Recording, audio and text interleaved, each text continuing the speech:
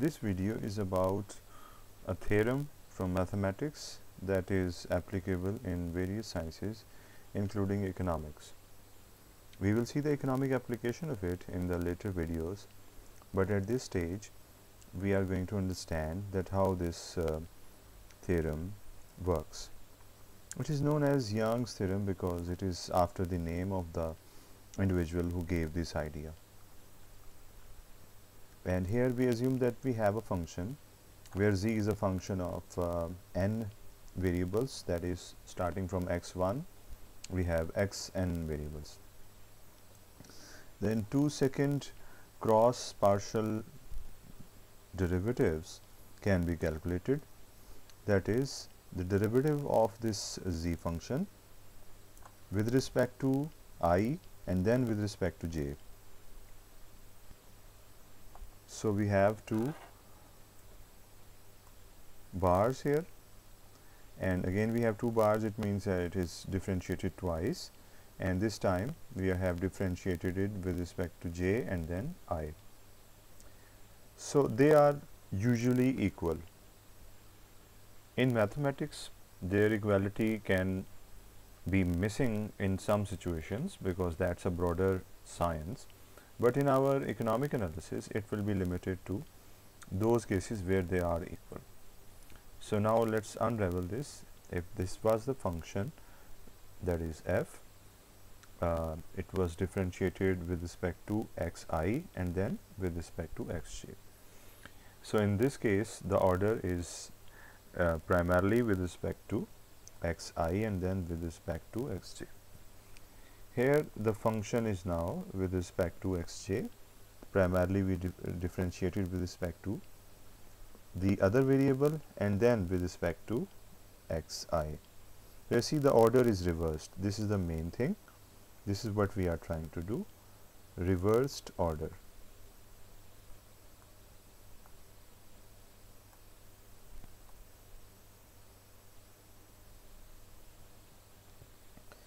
So, it does not matter no matter you differentiate with respect to the first variable or the second variable, the answer will be the same. In this case, we are assuming that the number of variables is equal to 2. So, if this happens, uh, we have this specific formula that there are two terms that are equal and the order in these is reversed. The order with which we have differentiated the function is opposite. Now we can understand this by using this uh, numerical example in which the functional form tells us that x and y combined determine the value of z. So z is a function of x and y, the specific form of it is x square plus y square. So we separately solve this that is the first order derivative with respect to x and side by side the first order derivative with respect to y. So, if we do this uh, the answer will be equal to this that is 2x and if we differentiate with respect to y the answer will be equal to 2y. So, we have done the half of the theorem because we have found one derivative with respect to the alternative variables.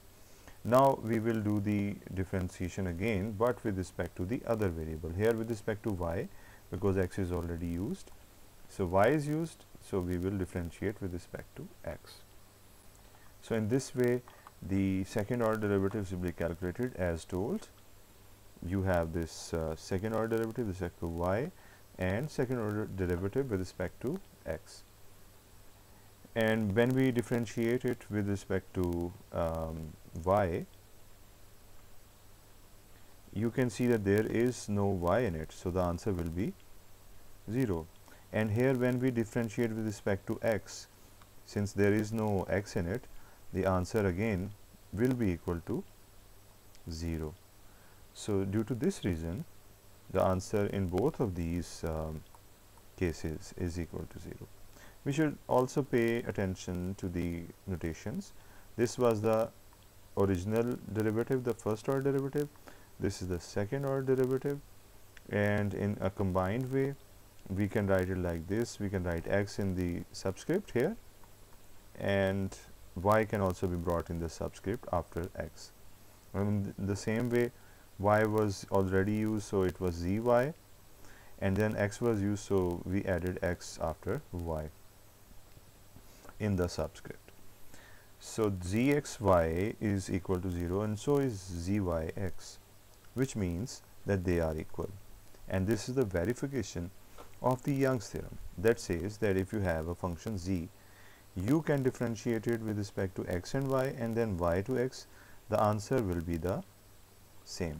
So Young's theorem will be applied in economic situations for example cost function differentiation with respect to x and then y it should be equal to cost function differentiation with respect to y and then with respect to x. They should be equal.